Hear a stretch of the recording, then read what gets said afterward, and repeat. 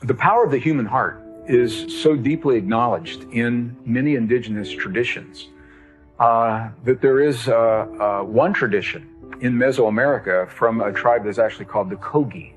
The Kogi so deeply emphasize the power and the significance of our relationship to our hearts that when their children are born, for the, the first couple of years of their lives, the children are kept almost in completely darkened conditions and kept separate from the physicality of the world around them so that the world that they develop first is the inner knowing of their heart before they develop the perceptions of the world around them. And in doing that, as, as the basis, then they are exposed to the sensuality of the physical world around them uh, and other people around them and their orientation is so very, very different. Now, many people in the West, when we hear that, it, it sounds very strange to us. Some people think it may actually sound cruel. But the, the net result of the way that these young people begin to live is their entire frame of reference becomes heart based. And that is the perspective from which they begin to experience their world rather than their minds discounting the power of the heart. And I'm not suggesting that we need to deprive ourselves of the physical world to have the experience. What I am saying is I think there are things that we can encourage in our young people early in our lives and now as adults that we can learn for ourselves to cultivate and develop what is called the heart intelligence, this power of our hearts to inform us of relationships, of experiences in the world that we simply cannot perceive through our, our mind alone. And I think this, uh, again, I think it's, it's one of the great frontiers. There's an organization uh, in Northern California, a pioneering research organization that has been formed specifically to explore the power of the human heart in very unconventional ways, and it is called the Institute of Heart Math. I'm not an employee of HeartMath, but I have known these people almost since their inception, since the early 90s. We've worked together on some, some very, very powerful projects. They are scientists, engineers, medical doctors, computer scientists, physicists, uh, academics from many different careers that have left those careers to pool their resources for the sole purpose of exploring the power of the human heart in ways that we have never explored in the West, in modern science in the past. We all know that the heart can pump blood, for example, but you can build a machine to pump the blood. What we're finding, what HeartMath is now finding, is that may be the least of what the heart does. The heart does so much more than simply pump blood. We're only beginning to understand. For example, what the people at the Institute of HeartMath have documented as scientific fact, published in peer reviewed journals, is the fact that the human heart is surrounded by a field of energy. It's electrical energy and it's magnetic energy. You can measure it with conventional equipment if it's tuned properly. This field is called a torus, a tube torus. It looks essentially like a donut that extends from the physical heart into the world around us for a distance of about five to eight feet. And I asked one of the primary researchers, I said, this field is so powerful, why does it stop at five feet or, or eight feet? And he said, ah, he said, that's the limitation of my equipment. He said, if we had better equipment, what the equipment is showing is that the heart field probably extends for a distance of many, many miles.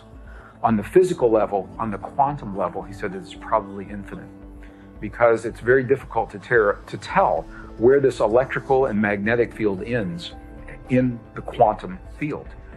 Well, the value of knowing this, what it says to us is if we're in a room with hundreds of people and we're all within five to eight feet of one another, we may be physically separate, but we are sharing a heart field. And the longer we're in that room together, the more our fields begin to meld together.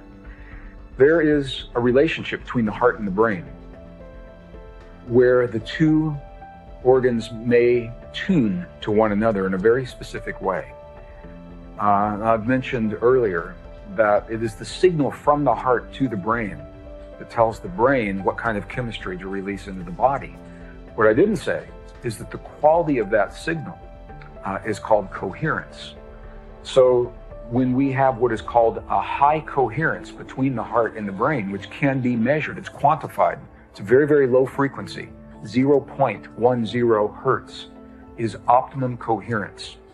If we can create a feeling in our hearts that generates 0.10 hertz between our heart and our brain, we are now in optimum coherence. And what that means is that we're functioning, op- functioning optimally.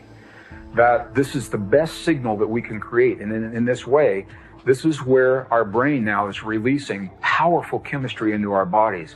Super immune response comes from 0.10 hertz. There's a new science you know, that's called epigenetics. Epigenetics means above genetics. It means there's something happening above our DNA that influences the DNA. What the studies are showing is that human emotion, heart based emotion, is one of the signals that literally influences the DNA in our bodies. Uh, it is uh, now very well noted uh, that longevity is directly linked to these feelings, for example. And many of the systems in the body that seem mysterious to us, and we're looking for chemicals and drugs to turn those systems on what the studies are showing is that emotion is a signal that will enable those systems. For example, aging. We know that in the aging process, every time the cell divides, uh, at the end of the DNA, there are uh, portions of DNA that are called telomeres or telomeres. They're pronounced both ways. Uh, they become brittle as we go through the aging process, and each time the cell divides, a little bit of that telomere is no longer able to reproduce. It breaks off. It, it's uh, because it is brittle. And when it breaks off enough times, it can't reproduce. That's what we call the aging process in the cell. Well, interestingly, our bodies have an enzyme that is designed to heal and to repair those telomeres. It is called telomerase. And the question has been, how do we activate telomerase? And what has been found is that it is the quality of emotion between the heart and the brain that literally can, can activate the telomerase and have a, a, a direct impact upon the aging of our bodies. So the question is, what kinds of emotions create those kinds of effects? They're the emotions that our mother has always told us about and that our most cherished traditions have always said positive heart-based emotions such as care, such as gratitude, such as appreciation, compassion. Those are the kinds of experiences that we may have in our hearts that literally give our bodies a new lease on life. The chemistry responds to those. Our indigenous ancestors knew it, but it wasn't science. Our own science is bearing it out. So this is one example of where there is a knowledge from our past. It's ancient, it's not obsolete. And I think it has direct bearing on where we're going with our studies today. If we can marry the wisdom of the past with the best science of today, marry them together into something that's greater than the science all by itself, and greater than the spiritual traditions all by themselves. Marry these two great ways of knowing together into a wisdom that maybe has not been in this world for a very long time. That gives us the edge the evolutionary edge to deal with the crises that we are faced with in our world that maybe our ancestors didn't have. Uh, and that's one of the reasons I'm so optimistic about where we're going because of the willingness to embrace the wisdom of the past and honor the best science of our time today.